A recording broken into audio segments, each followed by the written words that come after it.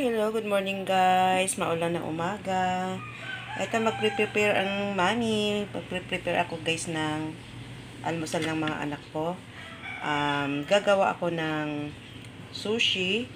Pero ano lang to guys, uh, pacham. Kasi favorite ni Isabel yung ano, itong seaweed. So, gagawa natin ng paraan kung paano. Tsaka hotdog, hotdog at pipino. Hiniwa ko na siya guys at konting rice. At look at that. Ang aking hotdog ay medyo kulang pa yata sa luto to guys. Ayan. Parang hindi naman ako nang gigigil sa apoy. Okay guys. Thank you.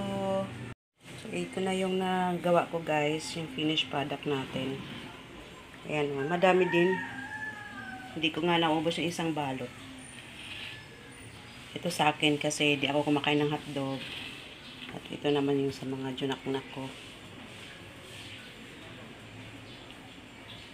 Ayan. So, tignan natin. Tikman natin kung anong anong lasa.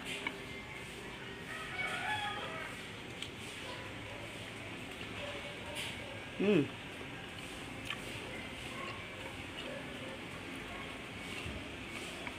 Masarap pa rin. Hmm, sarap.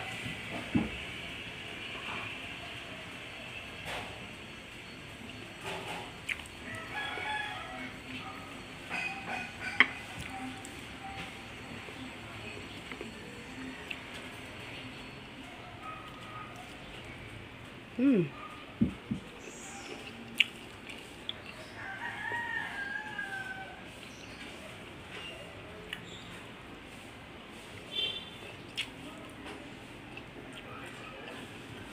Pwede na guys.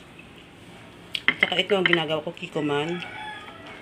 Na may kalamansi at saka wasabi. So, pwede na siyang pangbaon guys.